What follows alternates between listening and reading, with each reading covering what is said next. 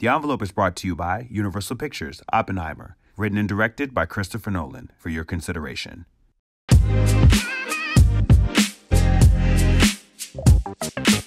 Hi, everyone. Welcome to another episode of The Envelope. My name is Yvonne Villarreal, and I'm joined by my co hosts Mark Olsen and Shawn Finnie.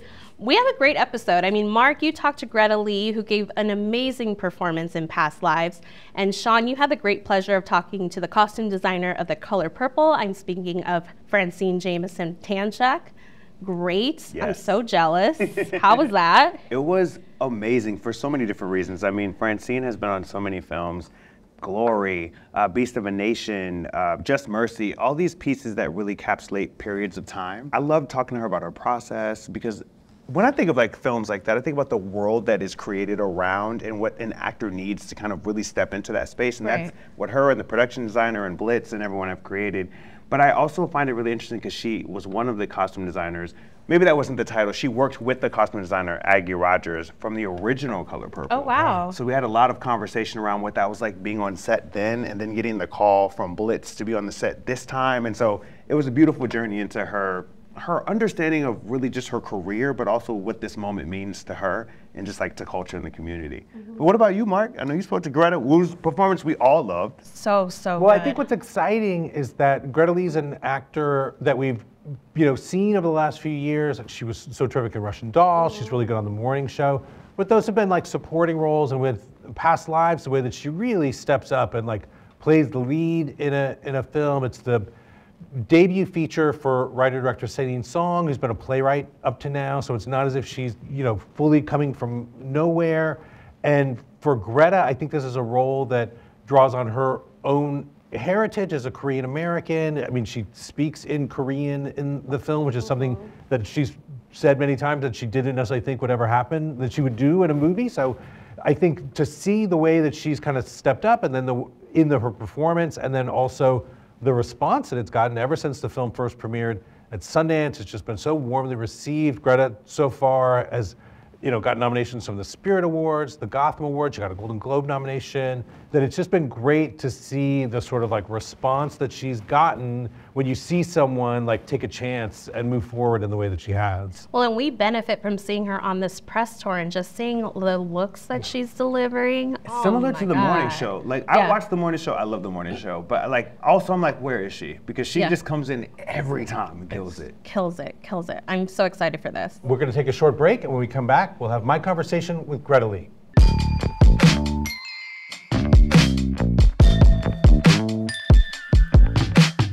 For the Los Angeles Times and the Envelope, I'm Mark Olsen. I'm here today with Greta Lee from the film Past Lives. Greta, thank you for joining us. Thanks so much for having me here. And so the film is the debut from writer director Celine Song. It's about a woman in New York, Nora, who reconnects with her childhood sweetheart from Korea, which causes some tension with her husband, her current husband there in New York. How, how was that? I always feel awkward. That like, was really good. I was going to say it's one of the hardest things to say the log line, and often I find myself just Googling it, my own movie, and I thought that was really succinct and, and really well done. recently I've read a few things where people are almost debating whether to describe the movie as a romance mm-hmm. or if it's something else. This story of Nora sort of mourning and in some way rediscovering her own identity. I love this argument. How do you see it? When I think about my first encounter with this movie and reading this script, I had exactly that kind of conflict, I guess, of of how to categorize or how how to I how do I evaluate this movie? Um, because yes, on the one hand, as I was reading, it's absolutely clear that it's a romantic drama and that there are certain tropes like um, a love triangle and a woman choosing, you know, two men who represent two different lives and two different identities.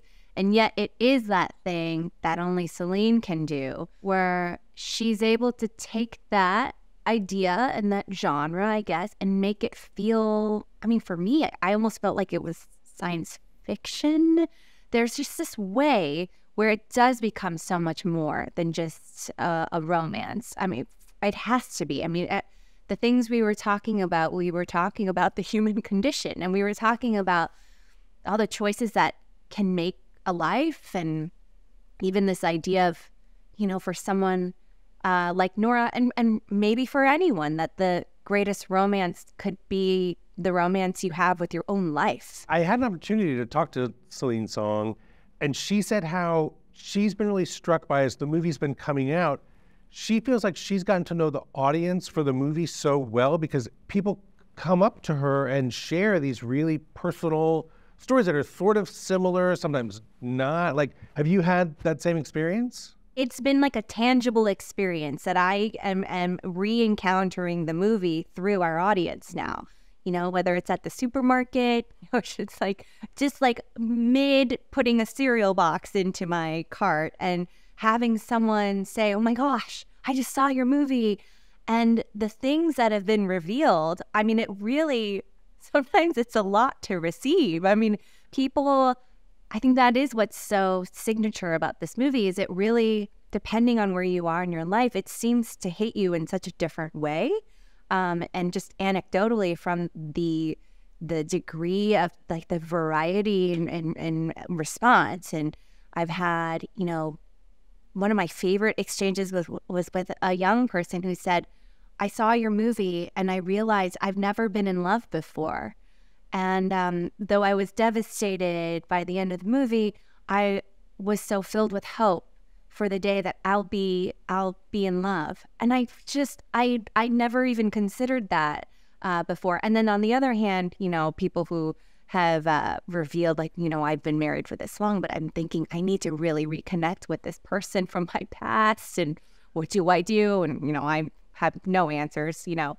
Uh, and then much older couples who've been married for several decades saying that the movie kind of reinvigorated and restored their their union and then you know the, the long walk that they took after seeing the movie so anyways it's just been it's been a really wide range of, uh, of, of a response that I I do I love and, and appreciate. You've kind of had this niche of these really sort of captivating, intriguing supporting roles. Mm-hmm. And I've heard you say that you don't like the phrase scene stealer. Did I say that? Hmm. Yes, I must have. Was it a conscious thing for you that you you like you wanted a lead role? Like you you wanted As an actor, of course you want a lead role. I mean, if you the assumption is you like the job and you the assumption is also then you want more of it. Um and I think that it is it would be disingenuous of me not to talk about it in terms of opportunity and representation and what that means to be actually be the center of your own story and to tell a story like this around someone who possibly looks like me, even um, on my own terms. And yes, that it was absolutely something that I'd always dreamed of since I was a little girl. When I first imagined, like, you know, I was just a girl, it was like, oh, I want to be in the movies. In a lot of ways, I'm exactly the same. I'm still just that little girl who wants to be in movies. Yet, I think over the years, there is this voice that tells you well, maybe that's not in the cards for you. Um, and and frankly, I think I had arrived at a place where I I had made peace with that. In fact, I mean, I I I love these characters that I've gotten to play. Um, Maxine from Russian Doll, Stella Bak. Um, these are not small people to me. And then Celine came along with this script that just sort of ruined everything you auditioned for this role, and at first you did not get it. Mm-hmm. And as an actor, I assume you are used to a certain amount of rejection, but this had to have felt different. It did. It hurt. It hurt a lot. Uh, it was so clear that this movie was special. And it was so clear that this role would be life changing for whoever got to take it on. I mean, it's not. Um, I couldn't take for granted reading some like something like this, a chance to, yes, use cultural specificity um, to then kind of take away the heavy lifting of having to explain yourself. Um, and instead getting to actually simply just like present a story about love, um, which is something I'd watched my peers get to do for decades. And so when it when it came back around, what did that what did that feel like? I think my journey with this movie and how I got to be involved, it kind of reflects sort of the core ideas of the movie itself, just like in-yun and destiny and and soulmates, because I really felt like I had in-yun with the script when I first read it. And then for it to come back around in the way that it did almost exactly a full year later um, was really, I mean, it's it's astounding to me even now. And getting that chance completely out of the blue to meet Celine, who I also now feel, you know, we have this in-yun, we we we are almost certain we were married in another life. And the way she says it, I'm not always sure that she means it completely in a positive way, that we were definitely married. But I really did find an actual creative partner. Um, and uh, yeah, so it's just, I think that those are all things that we were kind of pulling from in, in terms of um, the essence of Nora um, and the spirit of the movie that we were trying to make. Because I find it so striking that I've seen you say a couple times that you kind of never really expected to speak Korean in a role, and then you get this part, and then you're really self-conscious that like your Korean isn't Oh yeah, good enough. I think most people who are bilingual um, in America, it's just there. There's a level of self consciousness, and I will say, like a shame of, am I Korean enough? Have I assimilated too much? And it's very revealing to show your language. 너는 나를 왜 찾았어? 12년 전에?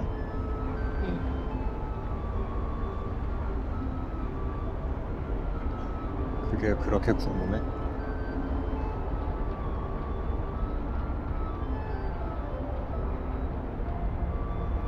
한 번 더 보고 싶었어.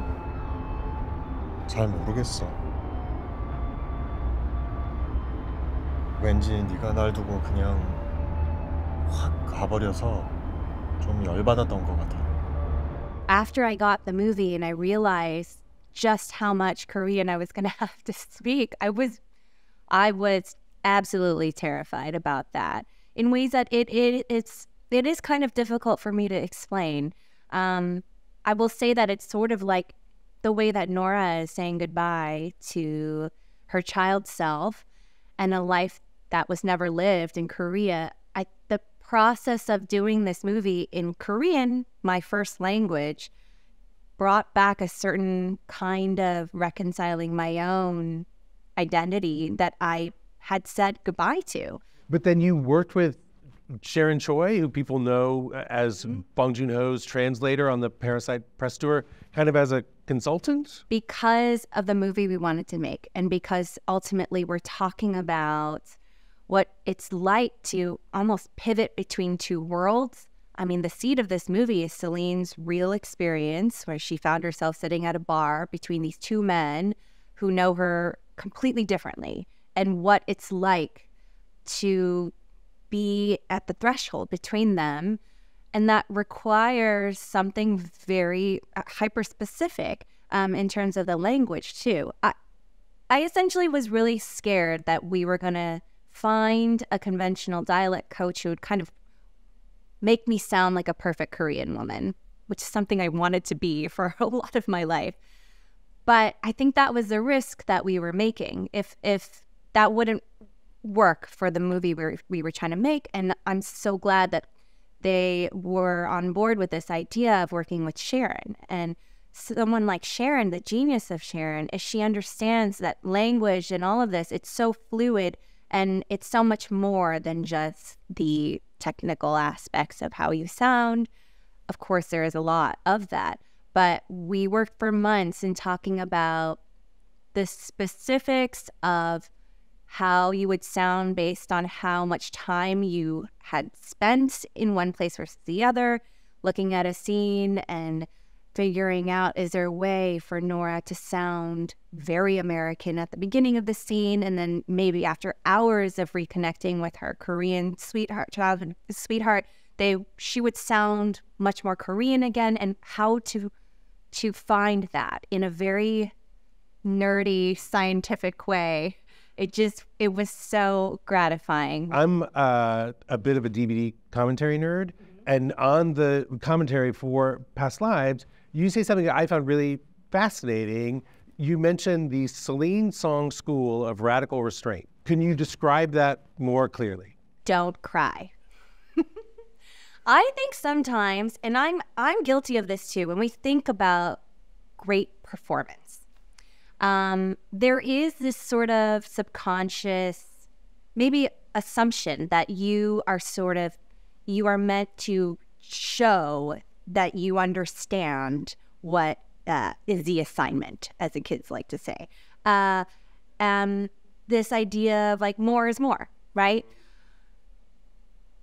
This movie is not that. And that was also one of the very apparent challenges of this movie right from the beginning. But it's also what made it so excellent um, to read. I mean, that kind of restraint, especially in this moment where it seems like everything else is antithetical to this. I mean, we, we support so much more this idea of the loudest voice in the room. Our movies are getting bigger. Um, and Celine, for Celine to come in, this being her debut, and being so unapologetic and insistent on this kind of stillness and the value of the ordinary. I it was it was stunning. I mean really, I feel really forever changed by her that kind of courage that is just innate. Um, so what that meant on a technical level and on a practical level in terms of our acting, like this kind of, I guess what they call naturalism, it requires sitting on so much, which was something I'd never been asked to do before. To trust that the audience will still hopefully be invested, even if there's not a lot of emoting. Um, the way the script was written, there was always going to be a big emotional payoff happening at the end of the movie, which felt really risky. Of you know this idea of will will they still be with us at the end? You know, if Nora isn't seen crying, bursting into tears. I think there's one scene where you do see her cry, and I couldn't help but laugh because I realized she, Celine, and our incredible cinematographer Shabier, they were shooting it from behind. so this one moment when I thought, okay, you know, I can like really like let it rip was shot the back of my head um, when uh, Nora breaks up with Hae-sung. But I think that that is one of the core tenets of this movie of um, that kind of um, truth of what it is. Because I want to ask you about, I, I think it's the scene you're talking about, the final scene in the movie. Nora walks her childhood sweetheart down the block, puts him in a cab, he goes away. She pauses and then she just walks back to her apartment. And on the, it sounds so simple, but the scene just ha- is so full of meaning and it is like the biggest action scene or something. Like there's so much happening in that Yeah. scene. And I'm personally so haunted by the way the breeze catches your dress and sort of pulls you back. And the pulls the dress in his direction. Tell me about shooting that scene. Like, Yeah, what, I love what was that about like? this last scene. Well, okay, so we, in a way, it did. It felt like we were shooting an action sequence. Like I, it felt like this is like oh our big Michael Bay moment, um, because it, there were so many elements in place, and it felt like just yeah. Technically speaking, we shot it in one take.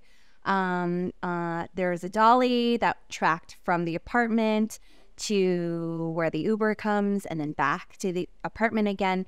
And I love what Celine described to us then that even the direction of our walking and the camera, all of that was so intentional because Nora and Hae-sung are walking right to left towards their past. And then the wind blows also in that same direction towards the past. Uh, and from there, they Hae-sung leaves and Nora continues back left to right into her present. And then also Hae-sung drives away into th- the future.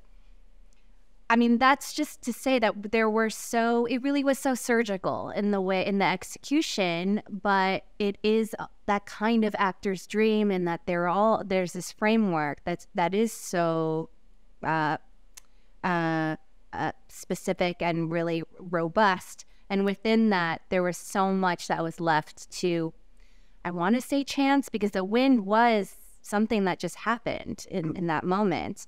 Um, and things like the timing of when exactly the car was going to come was not known before. Uh, Celine didn't know either. Um, and that's where, you know, her background in stage work, like, and, and even comedy, like that tension, like that's just what this is.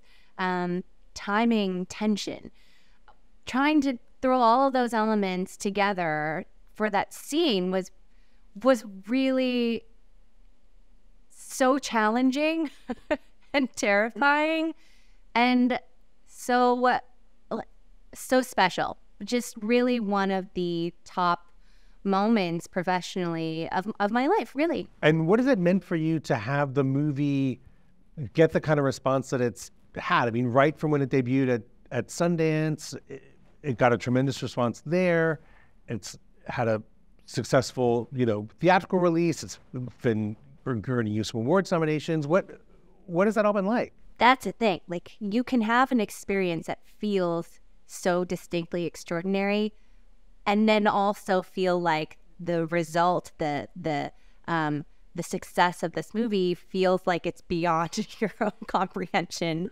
I I am so amazed. I I feel so proud of what we we made and it does feel a little bit like I mean, and also in terms of the like recognition, um, we are in the company. We are an excellent company. And these are massive films by beloved filmmakers who we have loved for so long, and it it's absolutely surreal to have been on this ride with this movie that we that was so personal. It is like it's hard to even talk about like what this is and and our love for this kind of a movie to exist at all.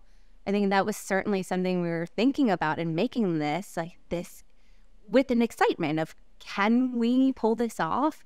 A movie like this right now is there an audience for this? And and just finding that there is i don't know. I don't know if there's anything better than that. Do you feel like the movie has already had an impact for you personally or professionally, like, can you feel that something is different for you because of this movie? It's a strange thing for me to, all that part of it too, to wrap my mind around because I've been myself this whole time, you know? And so there are funny, you know, kind of like monikers like a breakout or breakthrough or, you, but all these things happening now for me at this moment in my life is very, is wild. I mean, I, I'm 40 years old and to be a breakout is is a very hilarious thing to me. Um, but also so neat. I had said goodbye to a certain kind of career that I thought I was never going to have. And now it looks like it looks like I may. It looks like there's a, there's is a world where I will continue to be able to yeah, I move in this direction. Um, be at the center of of my own story, I guess, um, and to keep being I don't know that girl who just wants to be in movies. I've heard you say a couple times, "I'm not going back," and I'm so struck by the confidence of that, and and. well, hearing it back now, it's like, oh, oh, who said that? Mm-hmm. Oh, I said that. Okay, yeah. Does it feel that way to you? I mean, like that the the sense that there was this career that you have had and that now there may be this other career you're hoping to have like that i find that very striking. It's easiest for me to put it in the context of not just me but other people. Hmm. When i think about what it's meant to have this opportunity coming from a place where i'd accepted i thought you know maybe i'll get one shot like this in my lifetime and it'll probably come towards the end of my career. Now having had this experience, I know distinctly I do not want that for myself. And I don't want that for anyone else. I don't want that for any other woman or any other um, woman of color or anyone else who's been told maybe explicitly that you know they're, they're marginalized by this industry or they're powerless i just i don't want that um, now what to do about that is an ongoing complicated question but i think that yeah i have to be honest that my expectations are different that i'm that i'm going to be more demanding of our of the people who um, are in power, maybe. Um, I'm thinking a lot about stewardship and what it means to not just hold myself accountable, but hold other people accountable. Um, and just thinking about, as a result of having done this movie, like how to like swing this door open for everyone else. Was there a, a moment when you feel like you became aware of the fact that TV shows, movies, like did not include people like you? Like, like when when did that? So when did you sort of process that? I think that's just something that happens over and over and over again. Uh, you know, the first time I saw Annie, and as a little girl going to whatever school program and saying, "So I would like to play Annie, please," and being told kind of gently, "Well, probably not. Instances like that, um, where that weren't that collectively made it very clear um, that you know I am not, though I may perceive myself as Annie, that maybe the world around me at that time does not.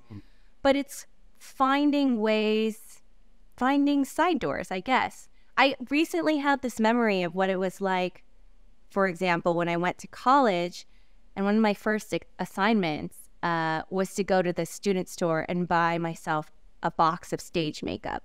There are these Ben Nye makeup kits. And when I got to the store uh, as an 18 year old kid, uh, I discovered that there were only three kinds of boxes there's a black box, a Latino box, and a Caucasian box. Uh, and I remember I was in the store for a while trying to figure out, like, I had to buy a box for class. Um, and and it's I think for me remarkable and important for me to remember personally that that kid didn't sort of burst into tears or feel like a victim of her own circumstance the kid that I was really sprang into action and and was trying to make certain calculations like okay well I'm like a sort of tan Asian so is there a way I could combine the Latin box with the Latino box with maybe the black box? And, and which, in retrospect, I think is absolutely heartbreaking to know that that's what was happening. But I'm so grateful that that girl then, even upon discovering that her dream literally did not exist anywhere on those shelves, just decided, well, I'm going to make my own path. Um, and sometimes it's those paths, yeah, that don't exist, that didn't exist previously, um, that can end up um, to something great. How often do people ask you to do the sweet birthday baby line from Russian Doll, and do you do it? I don't do it. I don't do it. Uh, I have already gotten that line out of my system. There's the assumption that you know, maybe I, I said that line once or twice and they kind of reused it. Every time you hear me say sweet birthday baby on the show, I mean, I, that is maybe take, however, I mean, when you do the math, that's a lot of times. That's enough times for, for any living person to say that phrase. But I, so I appreciate, you know, the interest in, in, in people still wanting to hear me say that, but I respectfully decline those requests. And now, this recent season on the morning show, your character became much more central to the story. And is that something that you expect? Like, did they tell you that ahead of time, or do the make me more central to the? To, to or do the scripts just come in and you're like, whoa? whoa. We had a different set of writers. Um, Charlotte Stroud uh, came in for the third season. We had Kerry Ehrin the season before. Um, we work with a really excellent team of people who are managing a behemoth of a show with multiple storylines. Um, and I, I, I could appreciate in reading the scripts, like, okay, yeah, they're they are really digging into what it's like for a woman like Stella to navigate all of these very dynamic pieces of power, her youth, coming in as an outsider, um, these moral dilemmas of uh, her own personal beliefs versus what would make for an effective boss or businesswoman. All these very interesting ideas, and I could see that they were developing them. Um, I don't know. I, I I like to think that maybe it's because I they thought I did a good job the season before, um, and and also just that group that that it is such a fun gig. Those are really you may be shocked to hear this really excellent actors who but who really genuinely care about the craft about what we're doing that day that it feels like theater school um, which I think is rare and it is something you know that I absolutely treasure when I find it. And uh, you were uh, recently named by the New York Times as one of the most stylish people of 2023, and I have to say I'm always so taken by like red carpet photographs of you. Like I, am curious. The word I guess I would use is fashion forward, or I, I don't know if you uh, how you think of it, but what is it that you that you like about red carpet dressing and and uh, about dressing that way? I always find it so surprising when people are are mention the like my red carpet stuff. I mean, it's sort of like what we're talking about in terms of this moment for me. Um, having been spent some time in the business and you know being at the age that I am, I think the red carpet is also this like funny extension of just trying to answer the question of like who am I now? like you're happening you happen to get me now. So who is this person and how can I I think I genuinely find that challenge thrilling is what I'm saying. Of how can I present myself and you know, certainly the best version of myself on on any certain uh, on these days, these sort of big big events, but how can I do it in a way that sort of preserves some part of myself. Uh, in a way that I can get on board with.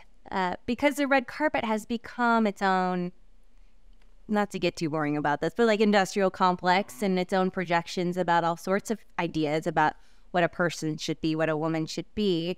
And I'm sort of enjoying the dance that I'm doing of of wondering, well, what's my what's my answer to that? How can I step forth um, with joy and celebrate this moment while also, yeah, holding on to something that feels true and personal. Again, it's surprising to me every time because there, I'm trying to hold on to a certain weirdness, frankly.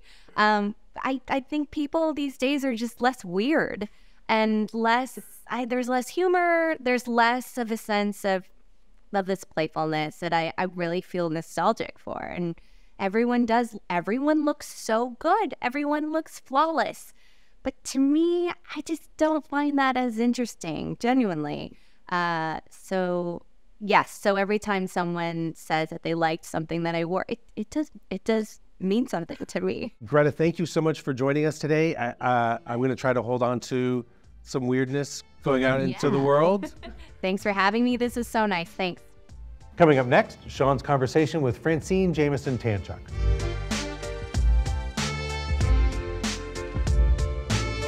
Welcome back to The Envelope. My name is Shawn Finnie, and I'm looking forward to today's conversation from one of my favorite films this season, and I think one of the most anticipated films of the season. I'm with costume designer Francine Jamison Tanchuck from The Color Purple. Hello, Francine. Thank you for joining us. Hello. How, How are, are, you feeling? I'm, I'm feeling very honored, very, really excited about the uh, how the color purple is being received, and it, it it's just makes me smile a lot. Here we are in 2023, and we're watching the color purple again. I think a story that impactful can have many different lives. Oh, yeah. And especially with the impact and contributions from individuals like yourself. And I want to just run Thank down because you've had you've had an amazing career and will continue to still have an amazing career. But some of the films, Glory, um, Birth of a Nation, Emancipation, They Clone Tyrone, The Color Purple. There's so many. Just Mercy, I believe, as well. Yeah. So many there, and like so, I always like to do first. I want to get into all things Color Purple from script to set, but I, I do think it's important because I think what we do is a lot of illuminated by who we are and like early beginnings. So I want to take it back just a little bit, just a little Okay. bit. All righty. Um, because I know when you were about seven or eight years old that you know you really kind of started playing in the space of like costume design with your dolls. Yes. So walk me through a little bit of that. I'm curious how that kind of started. My mother was very much a, uh seamstress, uh, although her profession was a surgical nurse. But she loved the crafts and she really loved to sew.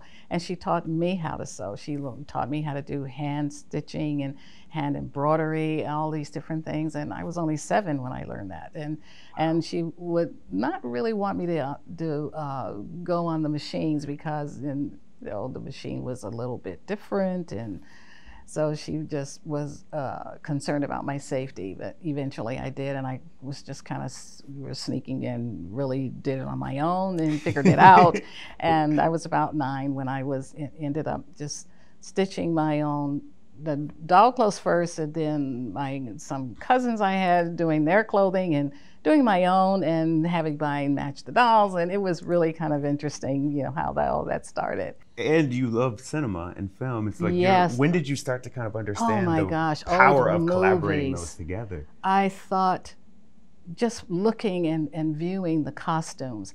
I remember uh, just many years ago when the, when a lot of films were coming out of the theater and were, and were on television. Because uh, some things I don't think my parents wanted me to see certain things like Carmen Jones or and I couldn't do anyway because I was probably wasn't even born when that came out. But at the same time when it, it aired on, on television, I, just thought, wow, Dorothy Dandridge, look at these beautiful African American women. Look at these beautiful black women and how sexy they are in the clothing. And in that era, and I think it was probably in the 40s or something, and I thought, wow, it's so beautiful. And, and then on another uh, film I loved was Sayonara. It was the costumes on, on the culture of, of the, the uh, Japanese people were, I thought, oh my, beautiful.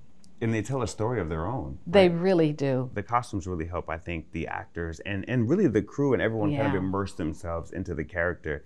I'm curious, like, when did access and opportunity, like, what, talk me through, like, when the programs, the early programs you started and how you started to see this as a path for a career? You know, earlier I thought I wanted to be a surgical nurse because my mother was. I was so proud of my mom because she was part of saving lives and helping people, and I thought that maybe that's the way I would like to go. But I just had such support in my family and, and really from my mother says, you really should be in the arts, Francine. I, I don't think the medical profession is, is where you should end up.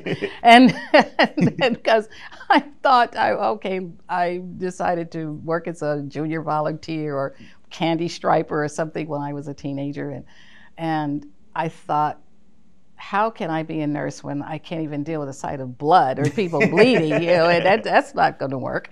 So I decided, yes, I, I went on to a college called Mount San Antonio College, which was wonderful with a program in fashion, merchandising, and design. I received my AA, and I was on my way to UCLA. I wanted, I had my SATs and all of the things I was preparing to continue for my BA and I had the opportunity of a lifetime an apprenticeship program that was starting in the film industry for affirmative action was in, involved at those days and I decided to apply.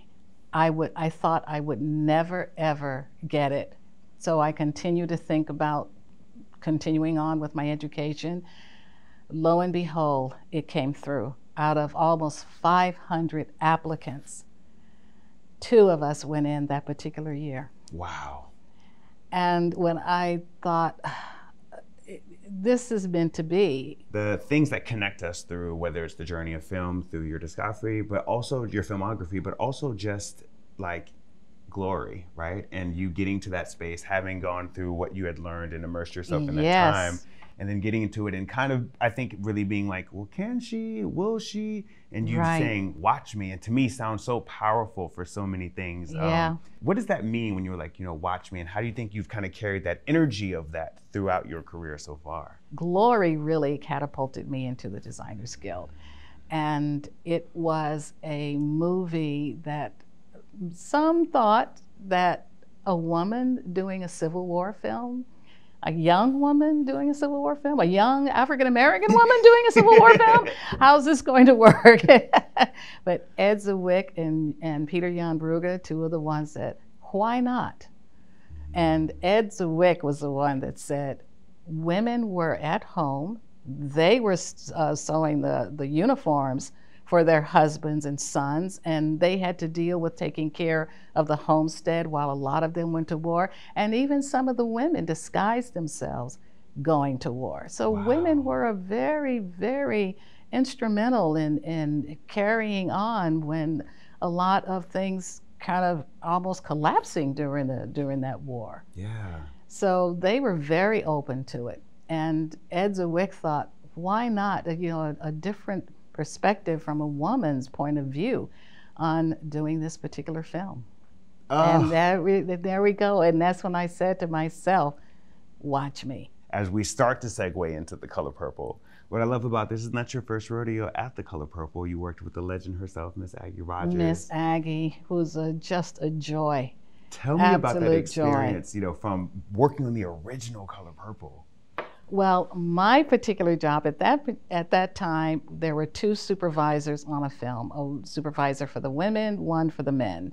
Don Vargas was the uh, supervisor for the men's costumes, but Aggie and I just gelled so much together, and she knew my love for period and and those types of vintage outfits, and so she really wanted me to go through the costume houses and just search for different things, not only just for the the women to see what if I came across other things for the men's costumes as well.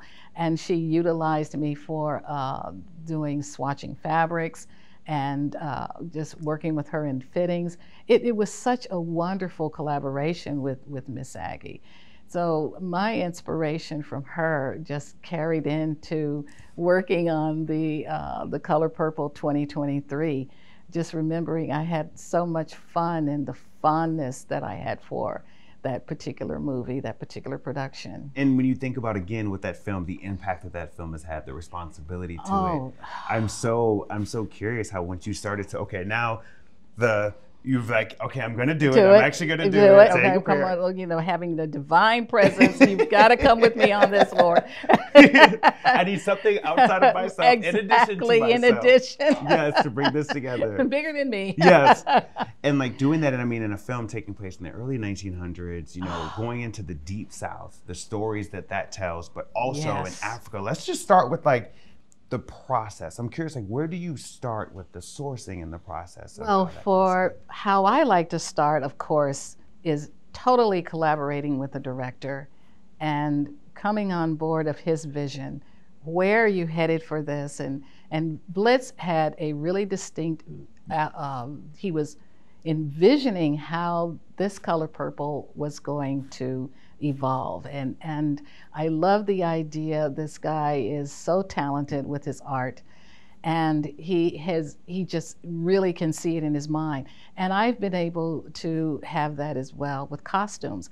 I can see the costume already built how it can be shot how it's worn even before it's you know made before anything else go you know it's on paper or sketched or patterns or anything. I can already see it built in my mind and i, I felt that with Blitz and support, and with that going on, I like doing what is called mood boards, costume mood boards. Oh, yeah, let's that talk give about it. us the mood and feel of every character, and I made created them for every last character, starting, of course, with Celie, young Celie, and young Nettie, and Celie in this particular age and Shug and every last one of them had what was called a mood board and and I was really sharing that all the time, dropping them in the drop boxes, as Blitz says, let's drop it in the drop box. and everyone could see it was so production design and, and cinematography and makeup and hair and all of us that that really were trying to create this world and and the characters. And because we were so uh, unified, I think, that all the department heads on this film, when every anyone had wonderful research that he came across, they would share it we would share each other, and it it, it just just evolved into a, a wonderful kind of a family effort. I love One, that. It, it, it, it just had to, we had to be unified, I think. When I look at it, I think about obviously Shug, uh, played by the wonderful Taraji P. Oh, Henson. Yes. I think about Fantasia. I think about Nettie. I think about all of them. And then I think about like the dancers, right? Because that's a whole other, what is that process? Because I imagine their wow. costumes are different because they have to move and bend and be able yes. to to stretch and expand. Like, walk me through. They cannot of... be uh, inhibited with the costume or constricted in any way. And a lot of those too, the wonderful Fatima Robinson and her beautiful choreography, she was able to send me videos on what the dance would look as though, and and I could really. Uh, just visit the rehearsals and see how they were moving and Taraji says, I'm doing my own dance. And then she says, I, I don't need a, a, dance double. I'm doing in the, you know, the whole thing. And of course, because they are all dancers and uh, Taraji, Fantasia, Sophia, Corey, they come out of theater. So, I mean, in theater, you do everything. You're like a triple threat. Everything had to be built, all of these costumes. And, and in building them for the dancers, you incorporate movement into some things that had to have the stretch, like certain gussets that were the same colors as the trousers on the on the guys, vintage clothing that we had to purchase and then go through and rework it so it can work for the dancers as well. But and and Taraji's outfits the pushed the and... button. Oh my goodness. When she arrived, Blitz and I said, she has to have that moment. When she's coming on that barge, and I said, Blitz, no color does that like red. Yeah. Yeah. It, has got to be red. Yeah, and it pops, it, and it has its own statement. The color it, red has its own statement. Yes, indeed. And and and to reuse the red statement for Celie, mm-hmm. for Miss Celie's pants. Mm-hmm. I, I, I think we wanted to carry that through, that this was that strong color that's makes uh, you know that says something that says a statement and it had to really just pop and when Shug arrived at the juke she threw off that cocoon coat. she was ready for the show. I mean, there were a few moments like that. Even even um, you know Fantasia's character when she arrived, because that was the first time we really got to see, see her dressed right. up and like those. She moments. descends the stairs, and even Mister had to. You know, oh, wow! He had it, it took him aback a bit. So it, it was just a wonderful moment for uh, for Fantasia as well because after wearing all these little cotton dresses yes. and going through the moment, because Blitz all, was really kind of taking her on this journey. Yeah. Sticking to the the script itself, you know, the the continuity. Yeah. So by the time that she was wearing the juke joint outfit that Shug had had given to her, Fantasia says, Oh, I get to dress yes. up today. Yeah. yeah. and, and you see how that fits even in the film, like how the costumes really help elevate but also just as I imagine for the actors, uh-huh. you, know, uh-huh. you, have a unique perspective of watching them transform into. Yes. Um, tell me about that process, because I mean they're already coming with their chops and, and able to perform. But I feel right. like the, the costumes and the world that is created with production design and makeup and hair really kind of help immerse it. I'm curious from your perspective. Really introducing them to and, and showing them the mood boards and having that in the fittings. And we were uh, talking about how their character was going to travel through time. And they just trust me. You know, they were really so open to trust me on the decisions, trust Blitz on, on what our vision was for the, the colors and the colors being used.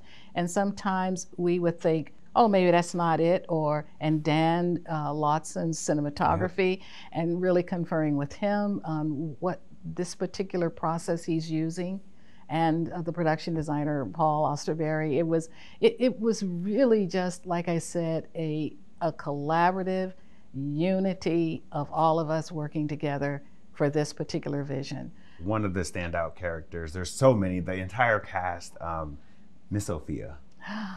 Miss Sophia. She was I'm not taking no mess. I know who I am. I'm not doing what y'all are doing. But even how that was reflected in her costumes and well, Blitz and I wanted to have Sophia's costumes to still to be kind of a girly, a woman, because Sophia loved that. She loved being, uh, she loved Harpo. She liked being a wife to him. She loved being a mother, sister, and all of that. So her costumes didn't have to come across in a way that reflected her strength because mm-hmm. she knew who she was anyway. Mm-hmm. So it was great to because you know, they were still in this little rural country town in the south in this era, so everything had to kind of reflect that. Of course. And they were getting their cottons and and uh, fabrics from the general store. Mm-hmm. And so I wanted to show those little calico cottons or those little the things that were of that era and I wanted to keep it that you know in that vein in in that particular world. I'm curious because when I think of um, Shug's number, you know, um, at the bar, how many sets of these costumes? Three. Wow. There were well, there were. Let's see, three or four. Three for Miss uh, Shug herself, one for the double in case we needed yep. to do the dance yep. double, who never really did yeah. perform. Shug did all of her dancing.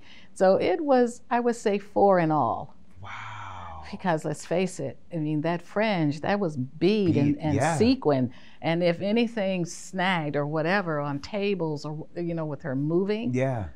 Ah, we have to have bring a quick remedy. The, yeah, yeah, bring, bring, in number bring two. in number two.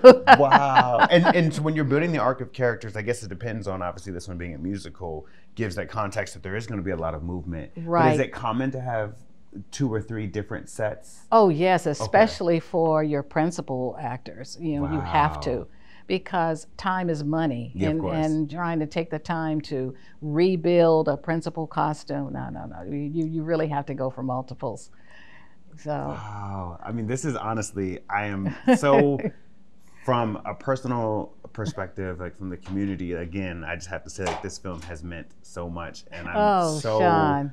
proud that you were able am. to harness the energy from the first and then bring your own element and, and, yeah. and we love Miss Aggie Rodgers and so yes, excited to see you step into the space. I am so moved by this film. Thank and I you, hope that Shawn. you know that your contribution to this film not only painted but created the world for the audience to enjoy. And I just thank you so I hope much. that you know that. Thank you, Shawn. Thanks for watching The Envelope. We're going to be taking our own holiday break, but we'll be back with another episode on January 11th with more conversations with some of your favorite talent.